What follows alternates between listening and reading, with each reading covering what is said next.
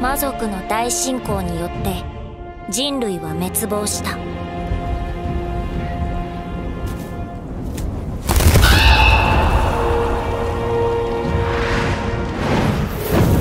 一死を報いるべく剣士カイルは魔王に特攻を仕掛けるが。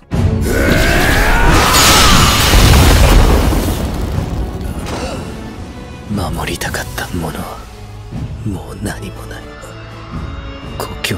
族も仲間愛する人も全てを失った。俺もこれでやっと。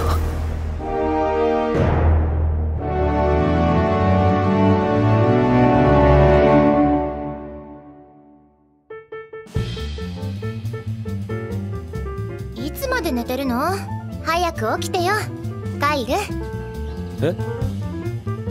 世界の運命を変える2周目の冒険が始まる。